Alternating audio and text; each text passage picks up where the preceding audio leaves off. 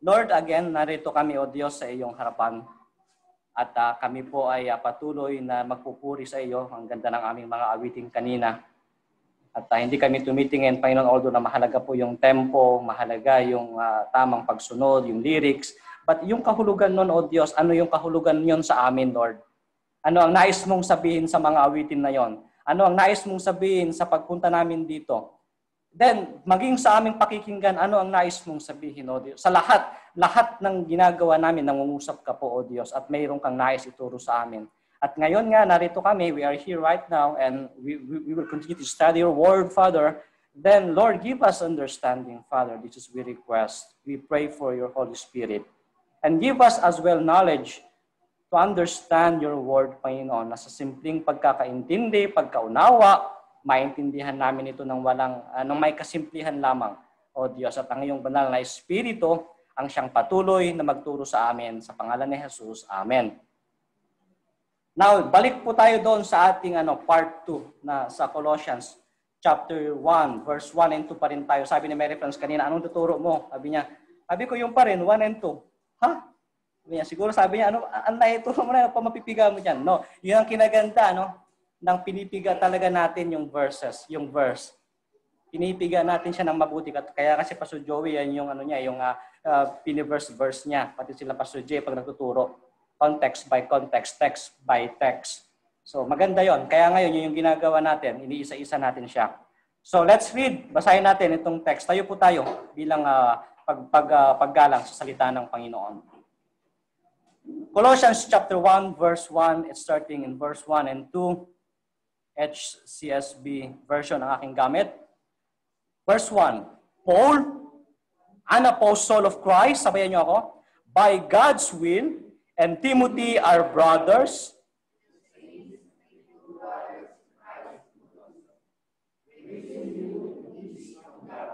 Hallelujah. Praise the Lord. Makaupo na po kayo mga Now, just to recall or doon sa ating previous uh, study for the benefits of the newcomers or uh, attendees ngayon. Sinabi natin, nakita natin last week, balikan lang natin, na about the identity. The identity or our identity in Christ. Na, na, naalala nyo ba? Union with Christ. Yung ating pakikipag-isa kay Kristo. Ano? At kung ano yung katayuan natin kay Kristo, sino tayo kay Kristo? Yun yung sinabi natin. At kinonsider natin yung mensahe ng ating Panginoon last week through Apostle Paul. Verse 1, Paul, sa kanyang sulat sa mga mananampalataya at inaddress niya ito sa kanyang liham sa mga believers, sa mga taga Colossae, ano, Colossian Church, sa sumunod na verse, to the saints in Christ. At sinabi natin, diniscuss natin, nag-focus tayo sa dalawa. At ngayon, pagtutunan natin yung dalawa pang natitira, sinabi natin there are four ways or four relationship that define our identity or yung pagkakakilanlan natin kung sino tayo. As a being saints, real church, real uh, Christian, kung ano man ang inyong pinag ano man ang inyong katawagan sa ating Panginoon based on our context, Sinabi natin, first of all, our relationship to God. And sinabi natin, then that is a horizontal dynamic, which is ang ating pagsamba sa Diyos. Papataas, hindi pababa. Kung pababa, ang sinasabi natin at it, when uh, ito, ano, wag niyo lang akong ma-misinterpret, ano? If I say horizontal dynamic, that is go from us to God. At pag pataas pababa, that is not uh, horizontal dynamic. That is a worship kung ano yung, uh, or, or that is a ministry rather. When we say from us to God, that is ministry, that is worship. Okay? And from God to us, that is ministry. Okay? Sana nakuha niyo yung ibig kong sabihin. Sinabi natin yon na isinulat ni Apostle Paul sa verse 2 ang kanyang liham address sa mga mananampalataya sa Colossae, sabi niya doon, kayo ay mga santo, ika ni Apostle Paul. Sa ibang pagkakasulat, holy people, nang sabi doon, hoi agios sa Greek word, if I'm not mistaken doon sa aking, uh, correct me doon, ano, doon sa aking Greek, dahil hindi naman ako marunong mag-pronounce. ng maayos. Uh, hoi, ag, hoi hagios. Ganon. Sa Greek word. Nang ibig sabihin is holy ones, set apart, being consecrated for some purpose or particular purpose or uh, on sa other term, special purpose sa iba. Ano? And not only that, hindi, hindi lang natin sinabi yon sa ganong paraan lamang, but sabi natin din, we belong to Him. Sinabi natin na tayo sa Kanya, siya ay sa atin. Kumbaga, kaya nga sabi ko kanina, palitan na ang Panginoon, ang, ang kanyang hinihiling, ang kanyang nakik- gustong makita sa atin is yung ating pagsamba sa Kanya. Diba? At tayo din naman, ano yung ating ministry, ano yung pinagkatiwala niya galing sa Kanya sa atin. Ano yung sa atin, ano yung pagsamba natin sa Diyos, at ano din yung ating ministry galing sa Diyos. Pangalawa, sabi natin that define our identity as being Christian, being saints, being real uh, church. Our identity is not just relation to God, sabi natin last week. Yes, tulad ng sabi ko, we are for God, we are by God, we are set apart for God, but also sabi natin, don't forget our relationship with one another as brothers and sisters, yung ating relasyon bilang mga magkakapatid kay Kristo Jesus. And that is horizontal, dynamic, or sa, sa atin na tinawag rin tayo para maglingkod sa bawat isa. Oo, naroon na yon yung primarily na ating paglilingkod sa Diyos. Naroon na yon But wag din nating kaligtaan na tayo tinawag rin para maglingkod sa bawat isa sa atin. Okay? Kaya nga ang sabi ko, if you will look at the New Testament, sabi ko nung nakaraan, kahit 30 minuto lang, or more than that, sabi natin, you will notice immediately. Makikita mo siya agad and you will identify the metaphor, the way na i-describe ng Bible o ng salita ng Panginoon ang isang uh, church as being family. Di ba? Family, nagbigay tayo ng mga mga verses niyan nung nakaraan. So, we are church. We are family. Kaya nga hindi maganda sa isang family yung may pagkakanya-kanya. Ayaw ng Diyos yon. Naghihiwal, uh, na, nadulas, nadulas, naghihiwal, uh, nadulas bigla. Erase, erase, erase. Erase mo yun, erase mo yun. Uh, baka manon si PJ eh. Walang ganon, PJ. Walang ganon, no? Erase mo yun, walang ganon. At uh, kalooban niya ng Panginoon. Andyan na yan. Uh, kalooban na to ng Panginoon. At uh, ito ang kanyang layunin, eh, na-execute na eh. Dito na tayo lumalakad na tayo. So, kalooban na to ng Panginoon. Andito na to, andito, andito na tayo. So, what I'm saying right now, mga kapatid, the fundamental truth about these two points na sinabi ko nung nakaraan na ating tinakal na pag-aralan natin, we are not a sinner anymore. Hindi na yun yung ating identity. Although sinasabi ko, nakikipag-battle tayo every day, every minute, every second sa, sa, sa pita ng laman na ito, But hindi na yan yung ating primary uh, status. Hindi na yan yung iyong katayuan ngayon. You are not a sinner anymore, Ezekiel. You are a saint. You are a Christian. You are a church. Ano? Yun yung pinaka, yan na yung bagong identity natin. Pagkakakilanlan natin. Ano? Pagkakakilanlan natin. Second, sabi ko, our identity is not just just a being saints, no? na, na masasabi natin meron tayong relasyon sa Diyos. Yes, again, ulitin ko, we are for God, sa Diyos tayo. We are serving by God, but also yung ating relationship sa bawat isa sa being brothers and sisters in our Almighty God. Now, considering these two points na ating nabanggit na, na mga points nung nakaraan linggo, punta tayo sa pangatlong points ngayon. Dito tayo sa pangatlong points that define our identity as being church, Christian, real church, believer. Number three, our relationship to Jesus Christ. Our relationship to Jesus Christ. I remember yung aking bunsong kapatid, si, si Melchor. Si Melchor, di ba ma? Bunso namin kapatid. Matangkad yun. Ibang itsura nun sa amin. Kasing tangkad na ni Pastor Joey yun. Uh, pero 20, 28 pa lang siya eh, si Melchor. 28 pa lang. Wala kasing signal doon sa amin, kaya hindi ko sila ma-request. Kaya napapansin nyo, wala, yung family lang ni Mary France ang nakakonect lagi sa Zoom. Yung family ko, bundok yun, walang signal doon. Kaya hindi ko sila inasahan na, na makakakonect sila every time na ako nagtuturo. But on the other hand, meron YouTube, sabi ko. you can uh, subscribe or uh, mag-connect doon sa YouTube. Mapanood niyo na ito. Si Melchor ba? Si Melchor yung bunso naming kapatid. Hindi namin siya tunay na kapatid. Alam niya ni Mary France. Hindi namin siya tunay na kapatid. Ano, matangkad niya, pambira ka Ate Mayra. Walang ganyanan. Kunting ano naman, relax. Walang ganyan, walang ganyanan. Ano. Pag sa tangkada ng usapan, nasasaktan tayo dyan eh. Da, uh, kasi uh, yung totoo naman talaga ay masakit. Totoo yun. Yung totoo ay masakit dahil uh, yun naman talaga. Ano, magkaiba kami ng ama at uh, na, na, yung kanyang family name ay nakabilong doon kay mother as per what the law says. Ano, pag hindi kasalang yung mga magulang, ano? So, makakonsider na yung family name ng isang anak nila o yung kanilang anak ay mapupunta sa magulang, sa ina. Ganon, di ba? So, ako po yung pinakabunso sa aming mga magkakapatid. Ano, ako talaga, ano? Yun na yon. Sige. At si Melchor, si Melchor, na itinuring na rin namin siyang kapatid. Dahil uh, simula pagsilang, magkakasama na kami niyan. Then, nung magkaka nung magkaka nung mag, lumaki na siya, magkakaedad na kami, marunong na siyang bumasa, marunong nang sumulat, nakakaunawa na siya sa tamang sa tamang pag-iisip na rin siya. Na find out niya later on na nalaman niya na ibang kanyang ama. Iba ang kanyang ama. Then from that moment na nalaman niya iba ang kanyang ama, naroon na sa kanyang puso yung hanapin talaga yung tunay niyang ama. Hanggang sa kinulit niya si Nanay Beng, si Mother, hanggang eventually nakilala niya yung kanyang tunay na, na, na ama, to make the long story short, and later on namatay din yung kanyang ama. Hindi din nagtagal, siguro isang taon namatay din yung kanyang ama sa sakit. Ah, hindi, hindi sa sakit, pinatay. Binaril.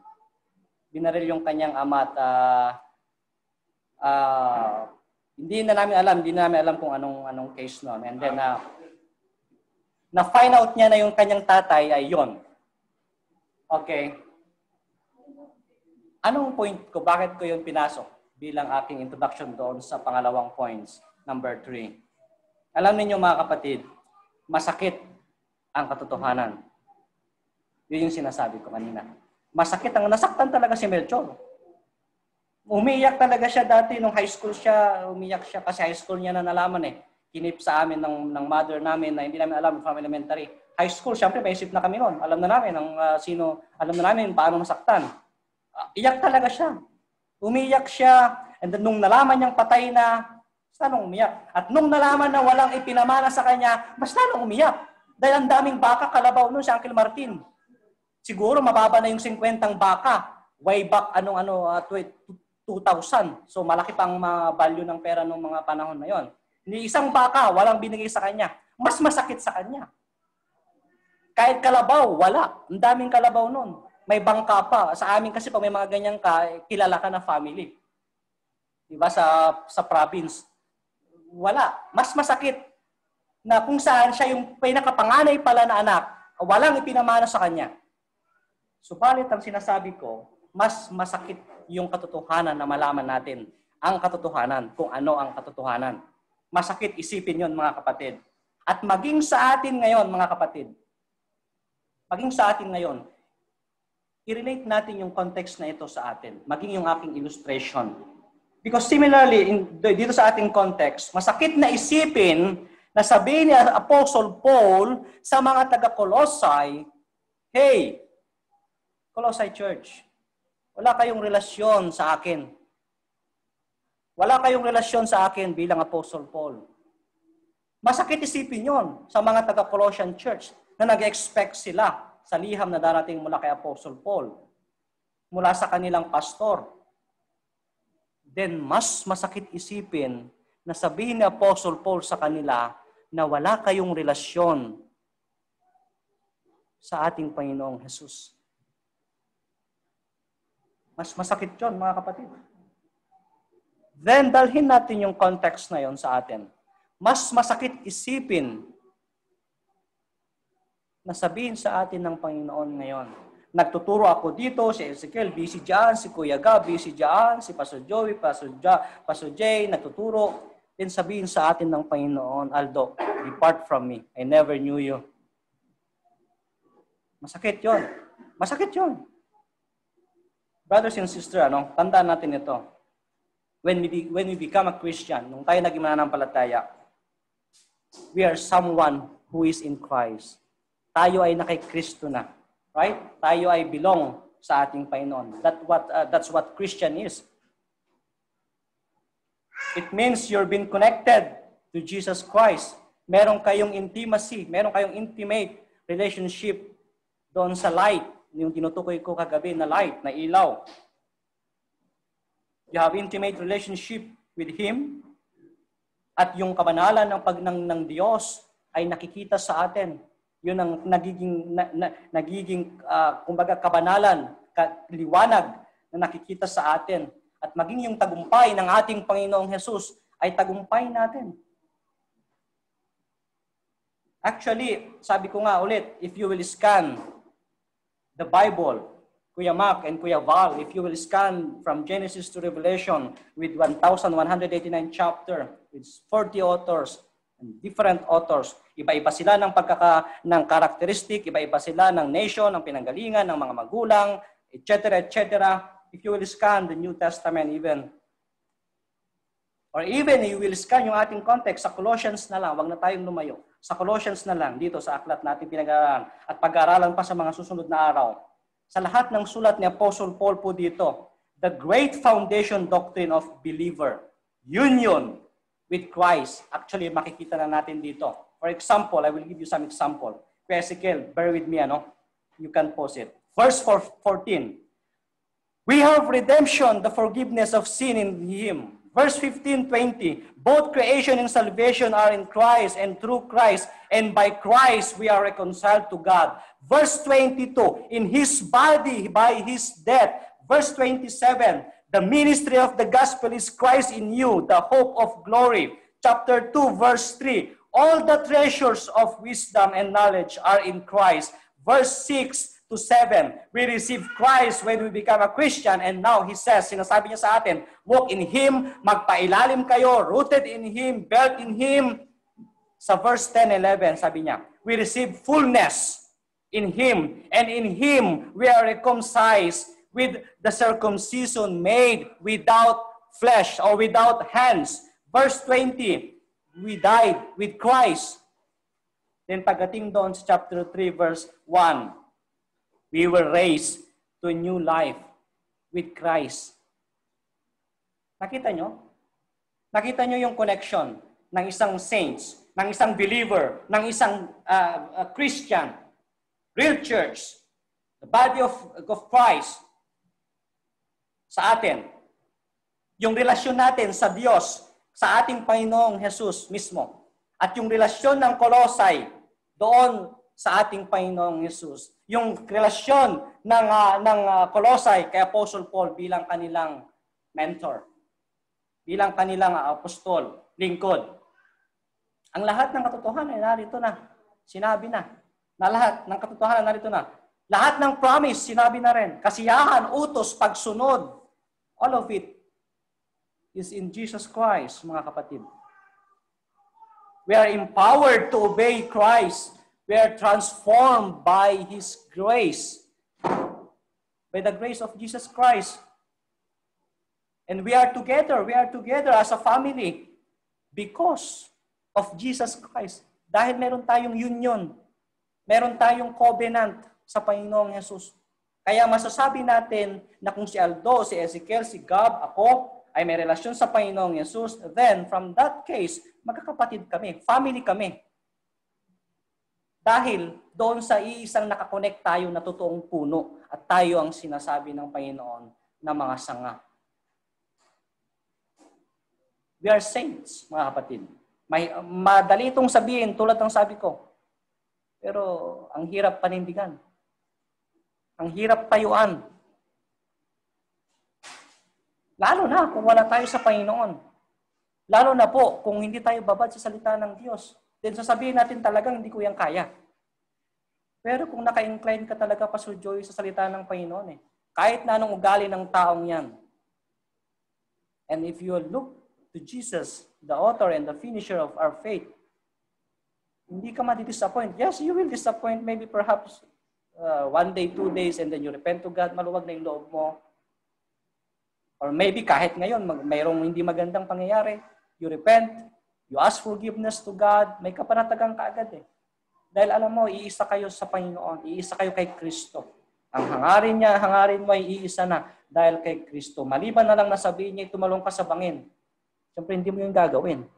Di ba? We are empowered to obey Christ, mga kapatid. We are saints. Sabi ni Apostle Paul, maging sa mga sa mga saints, sa mga Colossae, you are saints. Kayo na mga pinabanal, sabi niya sa pamagitan ni Kristo Jesus. Tayo isang pamilya, sabi ni Apostle Pablo sa kanila. We have been united to Christ, our elders, brothers, in Him we become adopted son and daughter of God. At maaari nating sabihin, ito yung pinakamaganda na, na binilin sa atin ng ating Panginoong Yesus. Maaari nating sabihin sa kanyang Ama, Abba Father. Imagine niyo yun. Pinagkatiwalaan tayo ng Panginoong Yesus na sabihin sa kanyang Ama, kanyang Ama. Hindi natin Ama, kanyang Ama. Na sabihin sa kanya, Abba Father. Father, dahil doon sa anak. At yun yung greatest foundation, mga kapatid, sa sinasabi ni Apostle Paul, na meron kayo. Na meron kayo. Na kahit na anong doktrinang pumasok diyan, Colossian Church, ignore it. All you have to do is stay on the track. Stay on the line. Huwag kayong mag-iiba ng inyong mga takbuhin o hangarin. Manatili kayo diyan.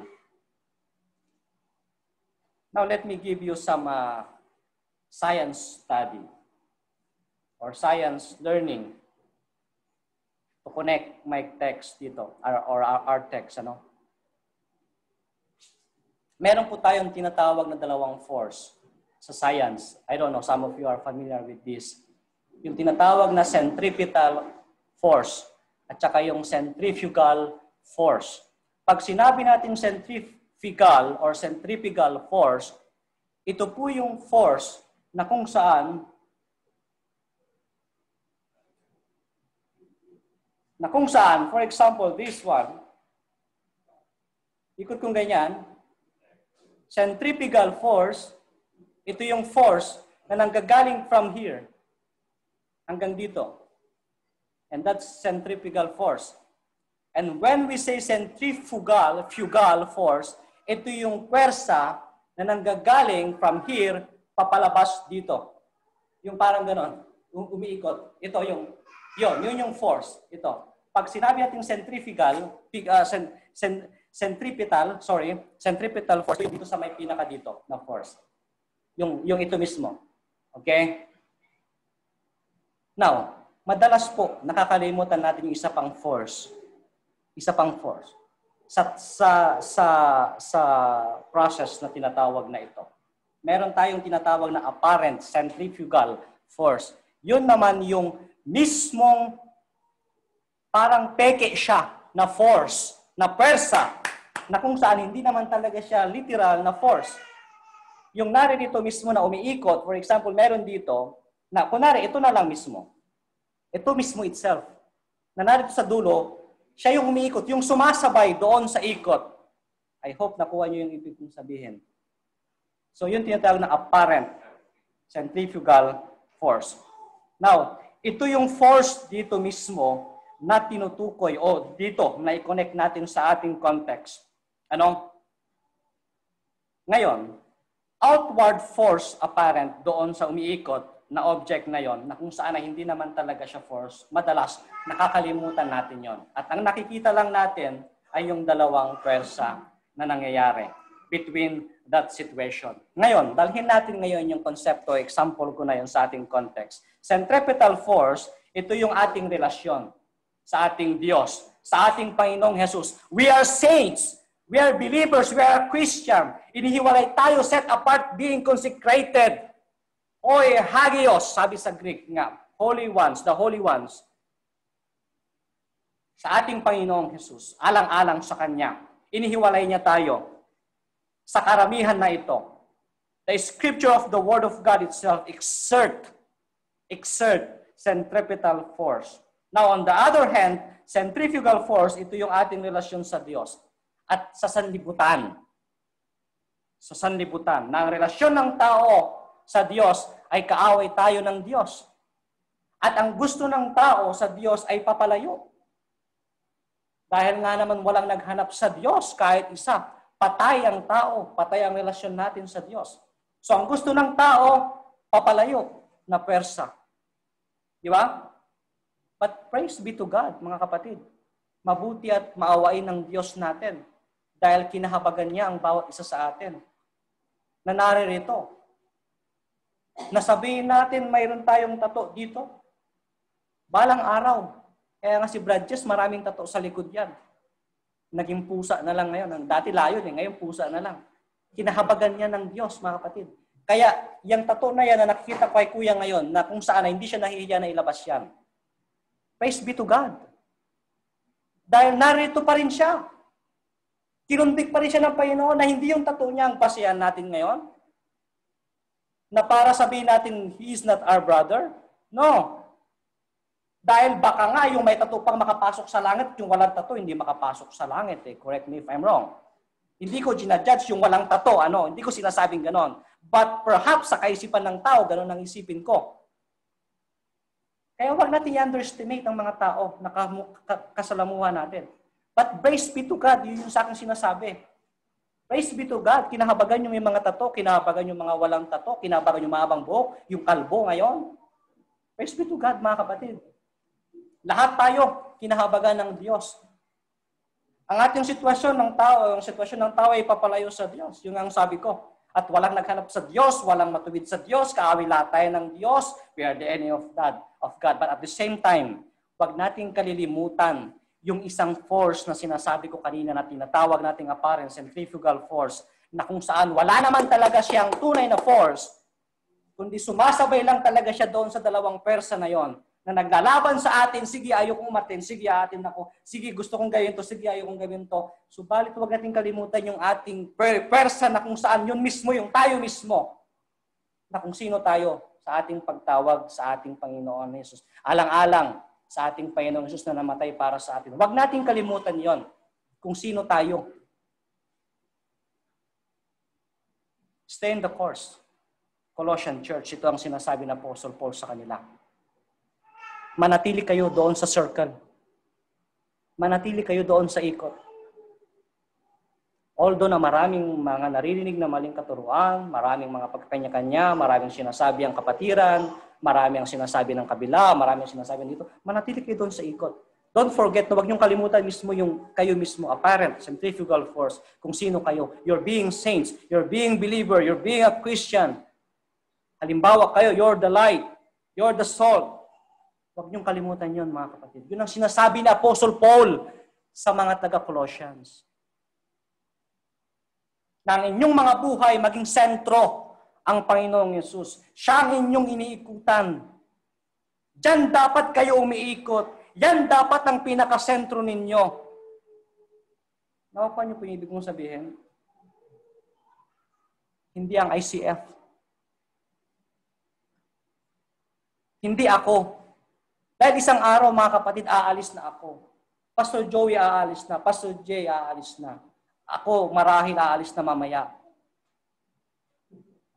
Tapusin ko lang tong preach ko. Aalis na kami, uwi kami. Siyempre, hindi kami uwi. Dito kami ditira. Mga kapatid, hindi kami permanent dito. Hindi tayo permanent dito. Hindi tayo habang buhay dito. Sa, sa lugar na kung saan tayo tinanim ng Panginoon. So, stay in the course. Stay in the course.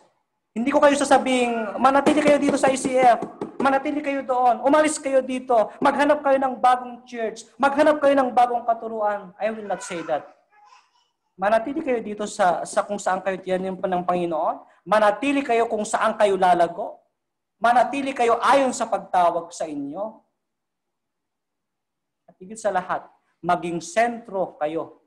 Maging sentro ang ating Panginoong Jesus. Kaya ang sabi ko, tulad ng sabi ko, dahil kagabi, kung naalala ninyo, na kung ang ating ginagawa ay para sa tao at hindi para sa Diyos, mapapagod tayo agad.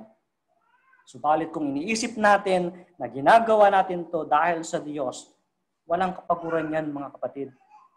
Walang kapaguran yan, mga kapatid. Stay in the course. And so the purpose of this letter of Apostle Paul sa mga taga-Colossian church is to make them alive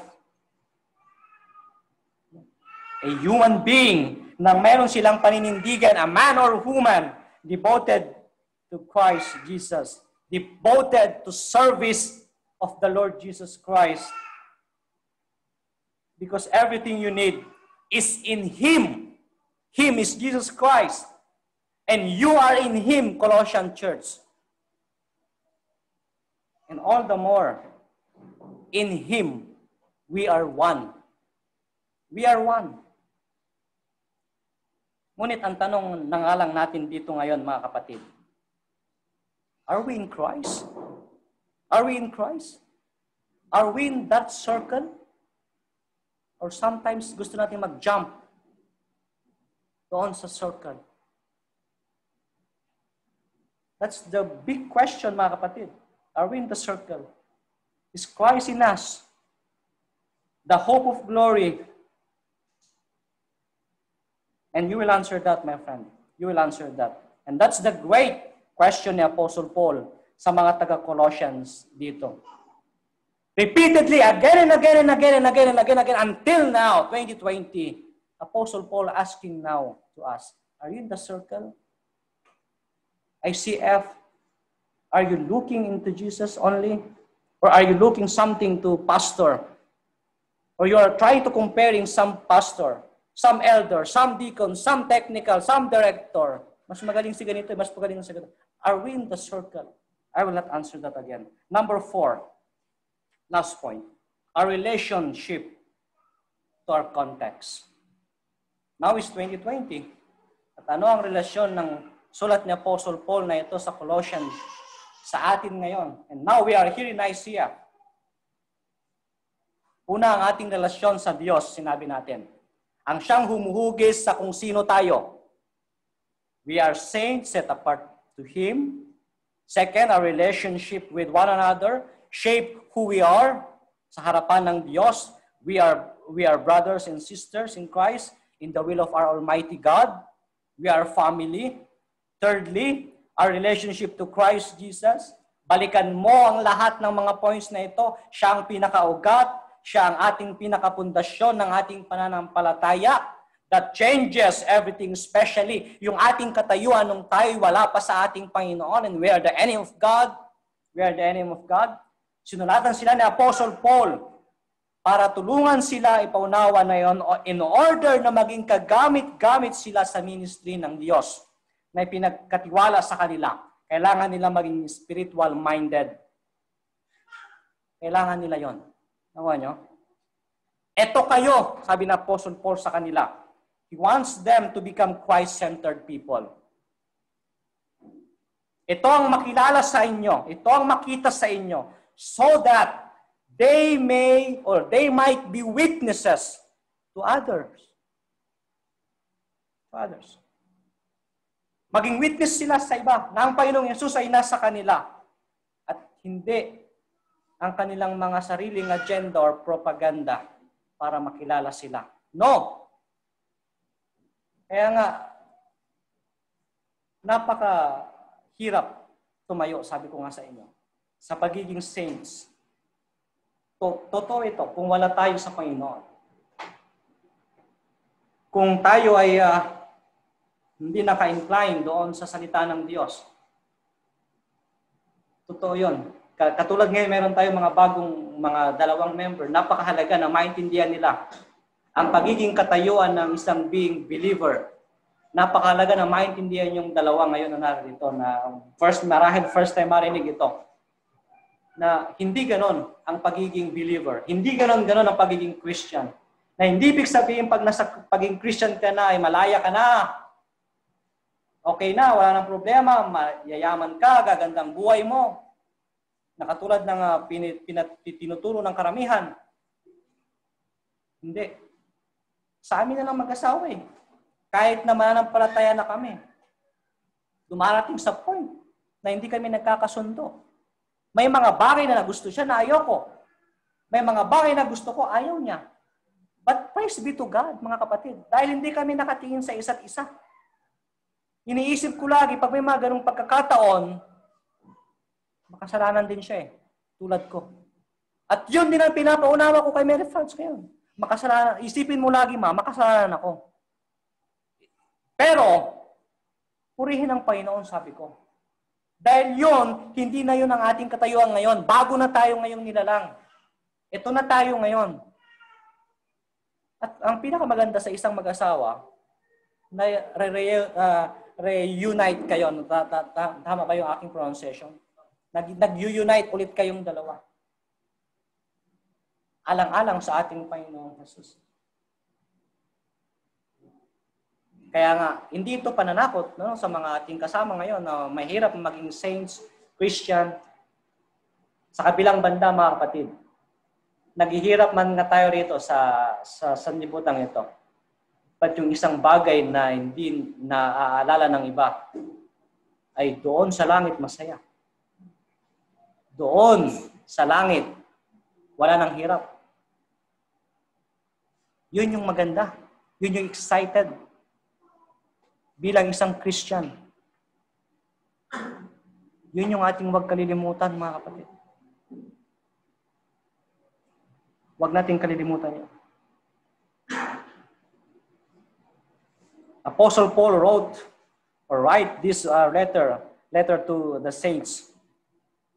Nang sabi niya sa kanila, saints and faithful brothers You see that? Nakita niyo ba yun mga kapatid? Faithful brothers.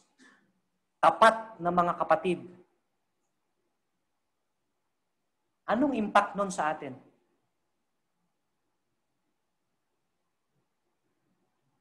Nung sila po ay, ay, ay uh, naging mananampalataya, hindi nawalan ng katuturan yung kanilang pagtawag kung saan sila nilagay ng Diyos ang mga taga-Colossae. Sinunatan sila ni Apostle Paul para tulungan silang ipaunawa na in order na maging kagamit-gamit sila sa ministry, ay kailangan nila maging spiritual-minded. Ito sila, ito kayo, ito kayo, maging witness kayo. Kaya nga maging sa atin ngayon, mga kapatid, ang dapat makilala sa atin ngayon kung sino ang Panginoon sa ating mga buhay. Yun dapat ang makilala sa atin. Ang tanong, nakikilala ba ang Panginoong Yesus sa atin? Yun na lang ang tanong mga kapatid. Nakikitaan ba tayo ng isang pagiging saints? Nawa mga kapatid, ito ang makita nila sa atin at makilala nila tayo bilang mga tapat na tagapagsunod ni Kristo Jesus. Sumusunod tayo sa ating usapan, sumusunod tayo sa ating covenant sa isa't isa, sumusunod tayo sa ating covenant sa ating Panginoong Yesus. At higit sa lahat, ang pinakasentro ng ating ginagawa, ng ating iniisip, ng ating pinag-uusapan, ay ang Panginoong Jesus.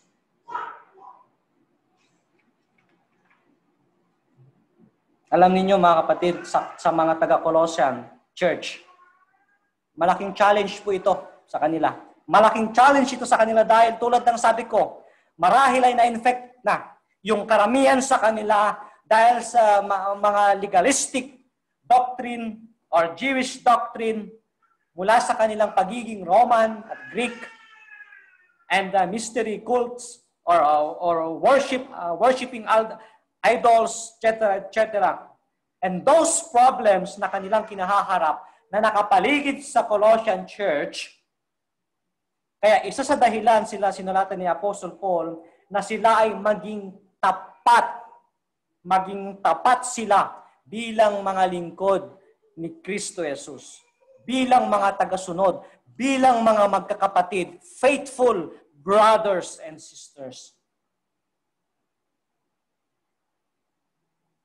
It's a toxic environment actually ano sa mga taga Colossian Church sa simbahan ito na sila po ay nasa ilalim ng pressure during this time, during this period.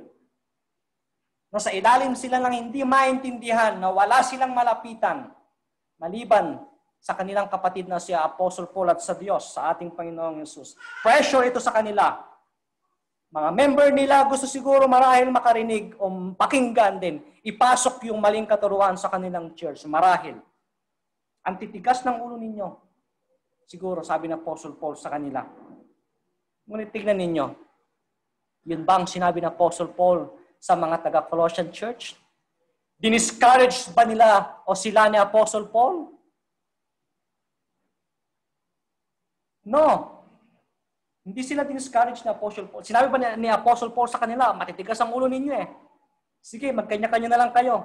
Sige, kung sino ang kay, uh, kay Juan, kay Juan. Kung sino kay Pedro, kay Pedro. Sige, kung ano ang gusto niyo gawin, sige.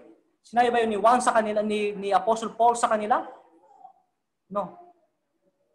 Hindi po sinabi ni Apostle Paul yun sa kanila. Pagkos, in-encourage sila ni Apostle Paul na manatili kayo.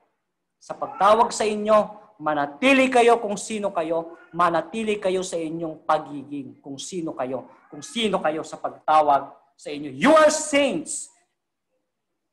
And number four points, you are faithful brothers. And I want you to shine like stars, sabi ng Apostle Paul sa kanila.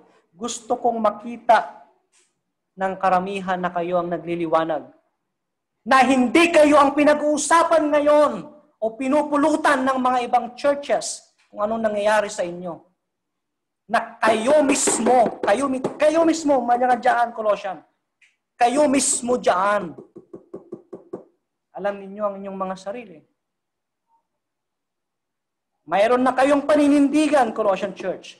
Kaya nyo ang sarili nyo sa tulong ng Panginoong Yesus. You are faithful brothers. Panindigan nyo yan, Colossian Church. At marahil, mga kapatid, marahil hindi ko po alam ang inyong kaisipan, but God knows your mind, your heart. Nang ilan sa atin, marahil ay gayon din, na nasa ilalim kayo ng isang pressure. Nasa ilalim kayo ng isang pag-iisip na hindi tama, na hindi nalulugod ang Diyos doon. And you don't know what you are doing now. Like Colossian Church.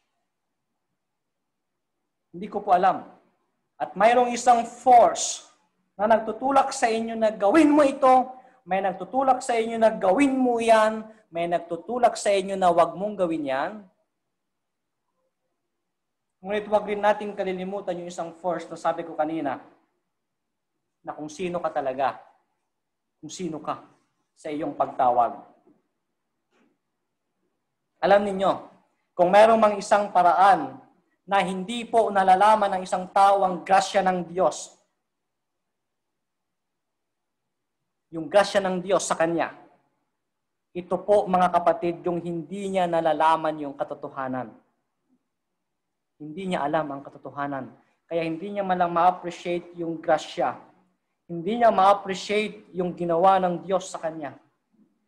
Kaya nga ako, mga kapatid, ilang araw ako nananalain sa Panginoon na ang dalayan ko sa Panginoon in behalf of my wife. Your will be done, God. Your will be done. At kung ano yung layunin mo, sasangayon ako. Kaya maganda yung meron kayong sharing ng mga pastors, mga elders, deacons, nagpapalakas na kayo sa isa't isa. And I encourage I encourage someone, he encouraged me. Napapalakas ang bawat isa. Dahil yan kayo eh. You are faithful brothers. At ngayong narinig natin itong katotohanan na ito, ang sitwasyon din marahil ng natin ng Colossian Church na ito, naway maging salamin po ito sa atin maging salamin ito sa atin when we know the truth about the grace of God, then sink into the soul of one person. Binabago nito, inuukit nito, pinipiga nito ang isang tao. Maging yung kanyang espiritu binabago. Binabago niya, ginaganito niya. At once na okay ka na, Once na kaya mo na, alam ng Diyos yun. Alam ng Diyos yun. At lahat ng ating nararanasan ngayon sa loob man ito o marahil sa labas ng church, nararanasan po natin ito mga kapatid ko sa pananampalataya at Ate Maricel, Pastor uh, Kuya Felix. Nararanasan natin ang mga bagay na ito dahil kung sino tayo. We are saints. Nakuha niyo po ibig kong sabihin? Nararanasan natin ang bahay na to dahil mismong tayo ay mga tinawag ng Panginoon. Wala pa nga ito eh, sa tribulation eh. Marahil lang sa atin ay wala tayong sahod. Ang iba ay uh, walang trabaho. Ang iba ay nagka-COVID. Wala pa ito. Wala pa ito sa kalingkingan na dinanas ng ating Panginoon. Yun lagi ang bumabalik sa isipan ko. Every time I face some situation, wala pa ito sa isang, kahit man lang yung isang pumalawit doon sa likod ng ating Panginoong Yesus na pumalo o kumagat doon sa kanyang laman na nung hinilang ganyan, nas, nasama yung balat ko ah. Sakit. wala pang ganon. Wala pang ganon na isa sa atin yung ginawa ng Panginoong Yesus sa atin. Wala pang ganon mga kapatid. Wala pa sa kalingkingan na yon. Yung sakit na ating nararanasan ngayon. Kung ganon mga kapatid, takaran natin Lakaran natin ito ayon doon sa pagtawag sa atin. Ate Mayra, wag mo kurutin, Ate May. Huwag mong kurutin.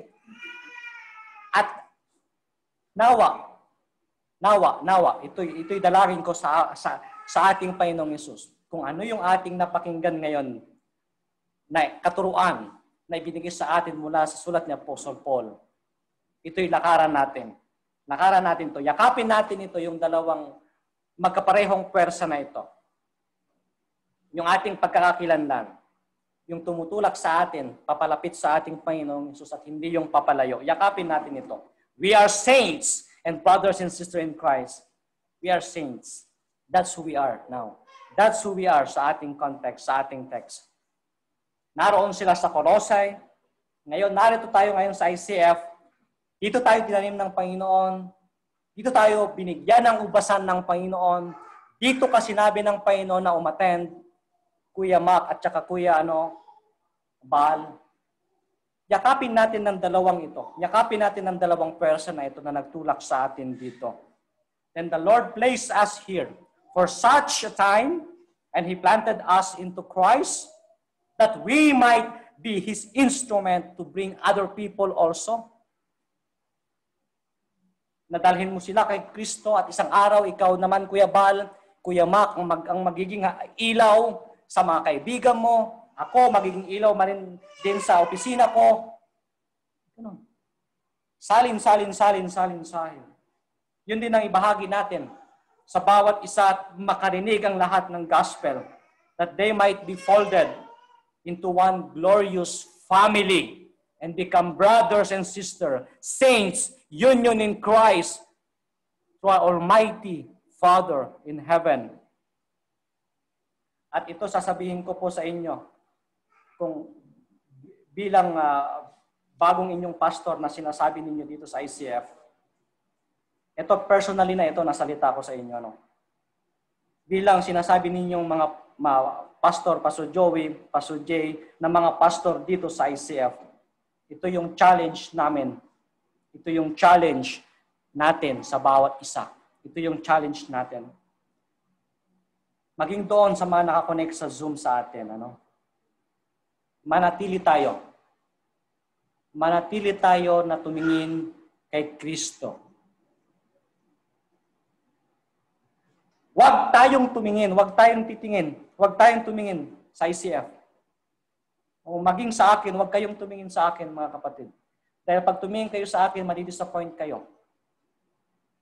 Madidisappoint kayo makagawa lang ako ng maganda, hindi ko lang kayo makamayan, at wala kayong devotion, masasaktan kayo. Pero wag kayong tumingin sa akin. Tandaan nyo lagi yung Panginoong Jesus na alang-alang sa Panginoong Yesus, kaya tayo mga magkakapatid. Alang-alang na lang sa ating Panginoong Yesus. Kaya tayo mga magkakapatid ngayon, na siya ang ating pinakasentro. Then na kahit na sino pa ang ating makasalamuha, kahit na sino pa yung tumayo dito na magturo sa inyo dito ngayon, sa inyo, huwag kayong titingin. na maging sentro ang ating Panginoong Jesus. Na lahat tayo dito, pare-pareho tayo, ibinababa ko ang aking sarili sa karunungan dahil mahina ako sa karunungan. Magturuan tayo. Magpalakasan tayo. Huwag tayo mag-discourage. Huwag tayo maging, uh, maging muta ng iba. Kung meron man tayong muta, magmuta muna tayo bago tayo magmuta ng iba. Ano? Huwag tayong tumingin sa iba. All you have to do is to remain steadfast in the Word of God. Meditate, tulad ng sabi ni Joshua 1.8. Meditate His Word day and night at mag-ugat sa atin yung ating napakinggan ngayon. God be the glory, honor, and praises. Oh, Holy Father, let's pray. Pupuna lang kayo. We worship you, Lord. We glorify your highest name, Father. We magnify your holy name. Father, walang-wala kami, O Diyos, sa karunungan. Walang-wala kami, Panginoon, kung kami ay sumasalamin sa iyong salita. At nakikita namin, O Diyos, ang aming sarili sa iyong harapan, sa iyong kabanalan, O Diyos, kung sino kami. Hayaan mo, O Diyos, lagi na kami ay manalamin sa aming mga sarili. Tulad ng ginawa mo, O Diyos, sa Colossian Church, na sila'y pinatatag mo through Apostle Paul, pinalakas mo through Apostle Paul na sa kabila na siya ay nasa jail. Ngunit naging encourage siya sa bawat isang mananampalataya sa Colossian Church. At ang mga Colossian Church, Panginoon, hanggang sa aming susunod na pag-aaral, ipaunawa mo sa amin kung gaano sila nanatili sa kanilang pananampalataya at naging sentro ang iyong bugtong na anak na si Jesus sa kanilang church, Panginoon. Hayaan mo na yun din, O Diyos, ang maging sentro namin at, at naniniwala kami na Ikaw, O Diyos, ang iyong anak.